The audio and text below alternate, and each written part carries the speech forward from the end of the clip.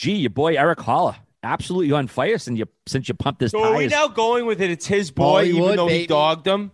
I never dogged him. He's Hollywood. You said baby. they couldn't win the stand that you. All right, take that back. You said they they were in a big load of trouble with their second line. I don't recall saying that. Do you have the Wow.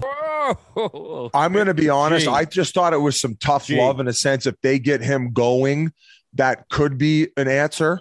G, Uh, G, we go way back. second Look me line in the center in eyes. the The, day of the deadline. The day of the deadline. What did you fucking say, dude? Don't do this.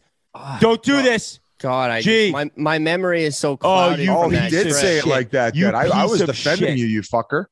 What? I, I was, I was I was defending him. I didn't think that he worded it the way that you're saying. So you were Dude, basically- no, he said like they're they're screwed with Haula as their second line No center. Like way. that's I me would never say paraphrasing. That's what he said. no Okay. way.